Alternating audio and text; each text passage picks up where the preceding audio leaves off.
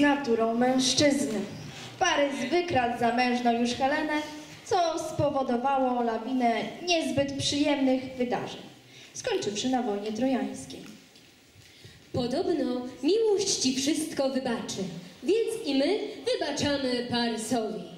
Przejdźmy teraz do średniowiecza, gdzie mocarnym rycerzom serce stawało się miękkie jak galaretka pod wpływem uczuć dodamy swego serca.